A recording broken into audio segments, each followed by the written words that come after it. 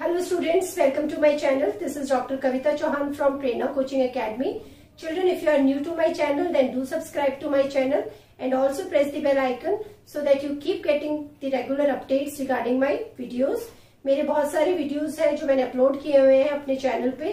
Class tenth S के videos हैं class twelfth English और क्लास ट्वेल्थ पोलिटिकल साइंस के वीडियोज़ है। उनके लिंक्स भी आप डिस्क्रिप्शन बॉक्स में देख सकते हो।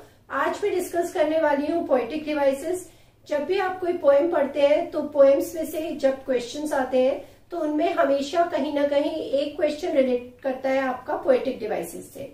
And generally what do we do और what do you do that you you know learn the poetic devices use in a particular poem which is given in your book तो हमेशा यही होता है।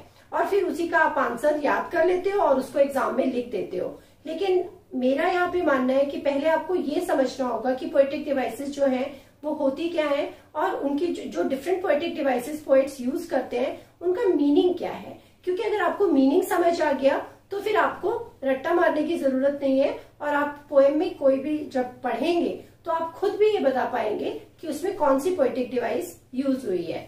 So let's talk about this today meaning of poetic devices So, poetic devices are a form of literary device used in poetry. They are essentially tools that a poet uses to create rhythm, enhance a poet's uh, poem's meaning or intensify a mood or feeling. So poetic devices वो essential tool होते हैं जो poets use करते हैं अपनी poem में, या तो अपनी पोएम की किसी लाइन में, किसी वर्ड्स पे एम्फेसाइज करने के लिए, किसी मीनिंग पे एम्फेसाइज करने के लिए, या कोई रिदम बनाने के लिए।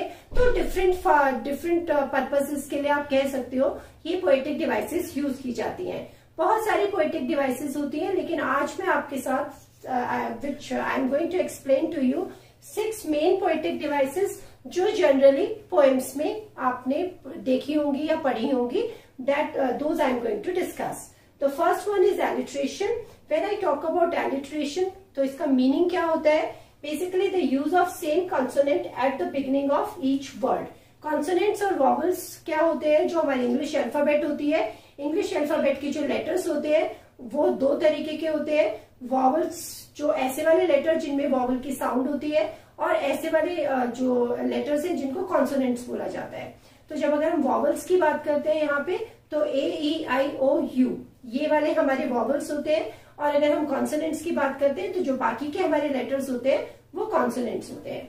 तो यहाँ पे जो एलिट्रेशन है, वो है कि अगर सेम कॉन्सोनेंट जो हमारा लेटर है, वो सेम यूज़ किया गया है at the beginning of each word for example she sells sea shells by the sea shore यहाँ पे एस है एस है एस है एस है एस है एस है। और जो एस है वो एक कॉन्सोनेंट है। तो ये एग्ज़ाम्पल है। ऐसा नहीं है कि किसी भी लाइन में हर शब्द का जो बिगनिंग है, वो कॉन्सोनेंट से शुरू होनी चाहिए। और तभी माना जाएगा कि एलिट्रेशन यूज़ हुआ है। ऐसा नहीं है। यहाँ पे जैसे कि चार्ली चैपलिन ऐसा भी हो सकता है कि सिर्फ़ दो या तीन वर्ड्स में ही वो सेम कॉन्सोनेंट रिपीट हुआ हो। पूरी लाइन में होना ज़रूरी नहीं है लेकिन पूरी लाइन में भी हो सकता है और दो या तीन वर्ड्स में भी हो सकता है। So Charlie Chaplin this is one one more example I have given here second is assonance the repetition of similar vowel sound in successive words तो जब हम वॉवल साउंड की बात करते हैं अगर वो रिपीट होती है सक्सेसिव वर्ड्स में एक के बाद एक जो आ, आ, मतलब जो लाइन है सेंटेंस है उस सेंटेंस में एक के बाद एक जो वर्ड्स यूज़ किए गए हैं उसमें सो so यहाँ पे जो एग्ज़ाम्पल मैंने दिया है वो है I wish there was a way to make her state similar feelings to those of my soul तो यहाँ पे मैंने अंडरलाइन किए हैं ये जो हमारे साउंड uh, है जिनमें वॉवल uh, की ए uh, है यहाँ पे भी ए है ये ए है ओ है यहाँ पे ओ है यहाँ पे। अब तुम्हें यहाँ पे एक बात यहाँ पे ध्यान में रखनी होगी कि मैंने बोला है वॉवल साउंड बच्चे इन चीज़ों में कंफ्यूज होते हैं। वॉवल जो लेटर है, वो यूज़ हुआ है, वो नहीं माना जाएगा। जैसे कि तुम यहाँ पे देख सकते हो कि यहाँ पे ई e यूज़ हुआ है और ई e एक वॉवल है। लेकिन यहाँ पे साउंड अगर तुम देखोगे तो हर हम बोल रहे हैं, ह की साउंड है। तो यहाँ पे लेकिन मेक ए तो जो वॉवल साउंड है, वो क्लियरली दिखनी चाहिए या आप उसको जब रीड करते हैं तो आपको वो फील होनी चाहिए।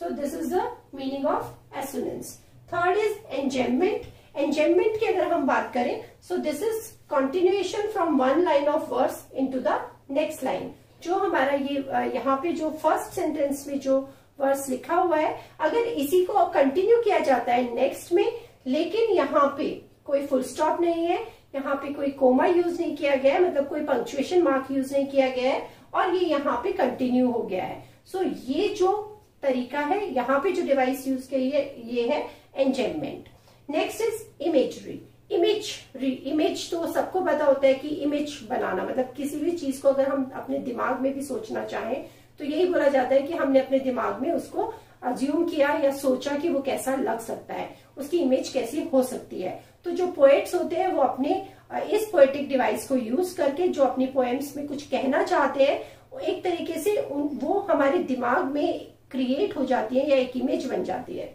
जैसे कि यहाँ पे बोला गया जो मीनिंग है the ability to form mental pictures of things और इवेंट्स मतलब जो चीज़ें हैं या घटनाएँ हैं जिनको पोएम में कन्वे किया जा रहा है, उनकी एक इमेज हमारे दिमाग में क्रिएट करना, इसको कहते हैं ये इमेजरी एग्ज़ाम्पल है the concert was so loud that her ears rang for days afterwards मतलब यहाँ पे इस जो कॉन्सर्ट है, उसके बारे में बताया गया है कि वो इतना शोर था वहाँ पे कि जब कोई भी मतलब एक पर्सन वहाँ पे से आया उसको सुनने के बाद तो काफ़ी दिनों तक उसका जो नॉइज़ थे, आप कह सकते हो, या जो उसका असर था, वो फील किया गया, या उसके कानों में उस इंसान के, उसकी घंटियाँ सी बजती रही।